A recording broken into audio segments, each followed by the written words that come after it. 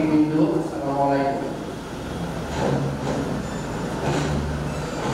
লাহোর ইউনিয়নের কান্তি গ্রামের গ্রামে আটশো ঘর মানুষ আটশোটা বাড়ি এই সমাজের বিরুদ্ধে এবং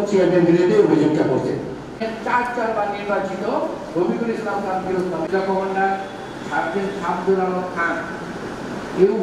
করেন। তারা আমাদের প্রিয় বাদক ছিলেন এবং আমাদের সমাজমুক্ত।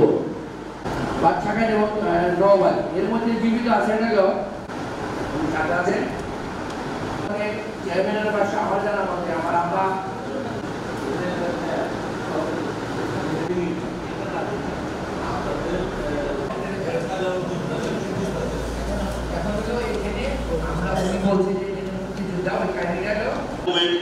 মাদ্রাসায় দান করেছেন।